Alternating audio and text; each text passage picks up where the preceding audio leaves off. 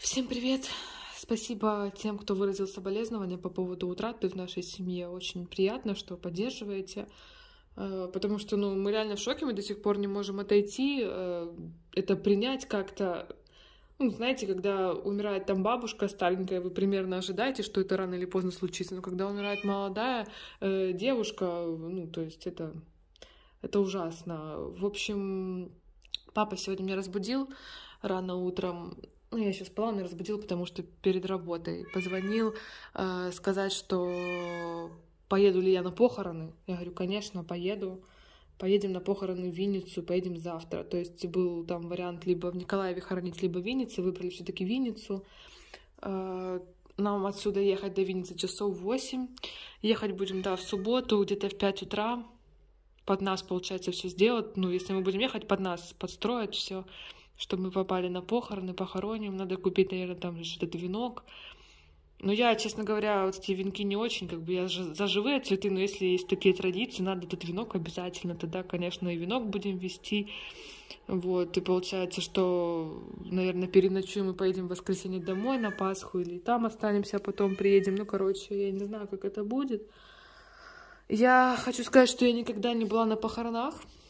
Никогда, особенно там родственника. Я просто помню в Кировске, когда мы жили, еще в Донецкой области, были похороны мужа моей учительницы первой.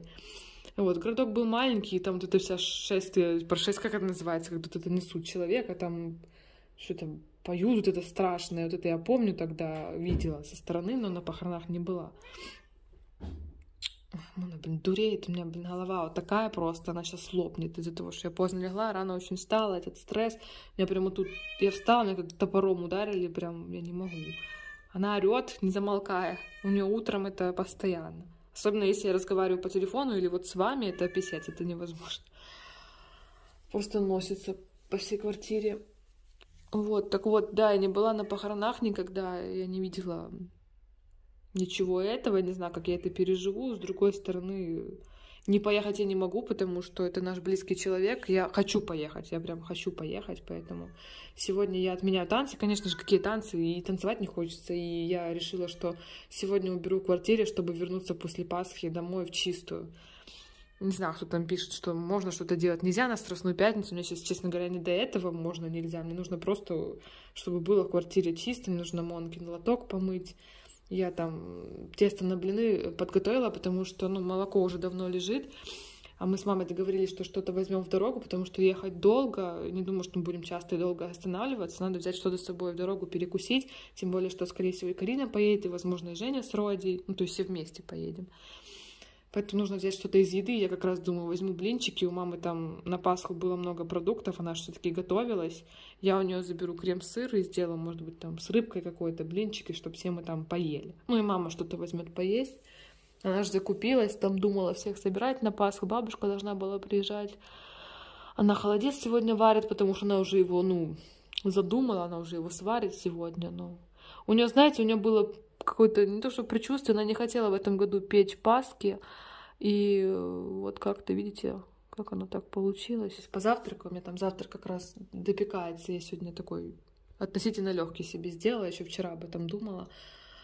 Сейчас а, покажу вам, приведу себя в порядок и да, нажарю блинов и буду убирать в квартире.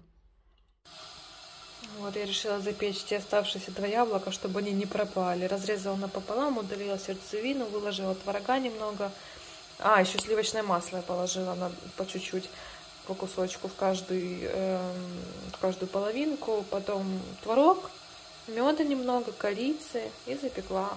Где-то полчаса выпекала, может больше при 180. И сейчас еще, наверное, может быть, чуть-чуть добавлю меда. А может, не буду добавлять. И присыплю грецким орехом. И тут тесто мое стоит на блины. Смотрите, какая огромная стопка блинов. Они же еще маленькие, я их жарила реально часа два, наверное, если не больше, прям очень-очень долго, но справилась. И в квартире поубирала. Вот. Сейчас, может, на фоне услышали Лешин голос. А, он у меня работает вот там в спальне, потому что он мне позвонил сегодня, спросил, есть ли свет у меня. Я говорю, у меня есть. А у него на районе, это, кстати, рядом через дорогу отключили, там какие-то ремонтные работы до 4 дня.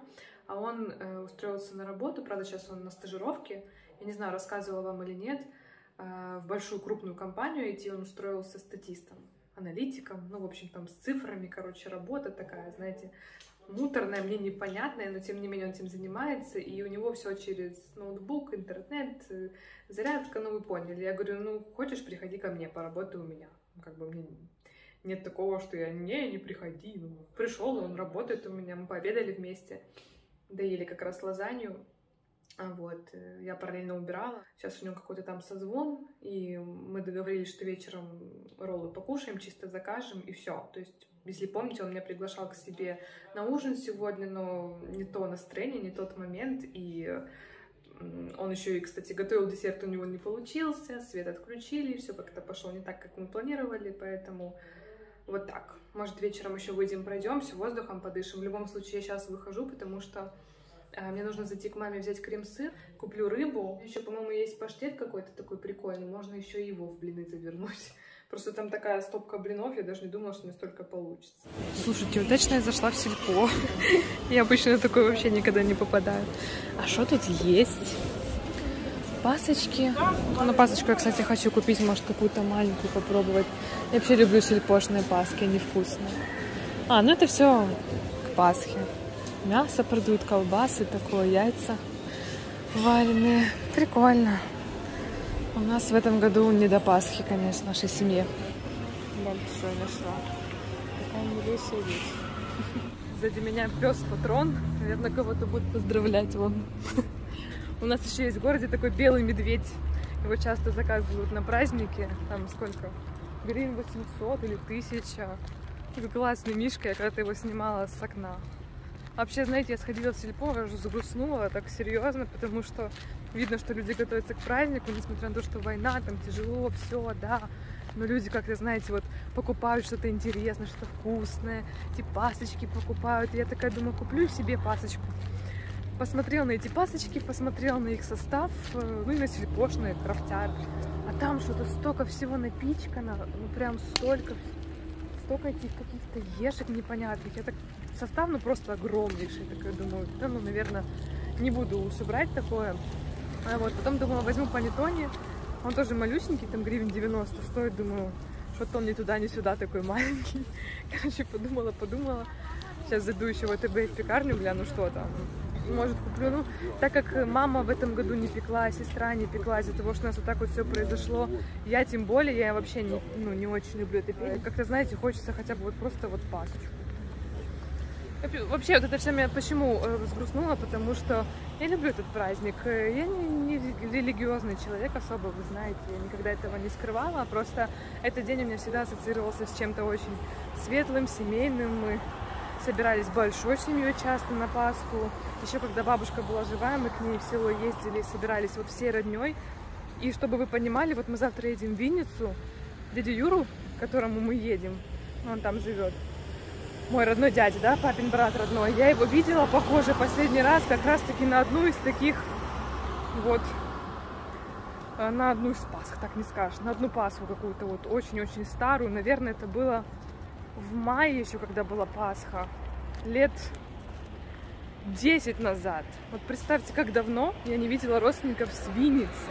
И вот только завтра мы увидимся, и при таких страшных обстоятельствах, естественно, это все ну, очень давит. Это очень грустно, печально, и что так это все получилось, что теперь Пасха будет напоминать вот об этом.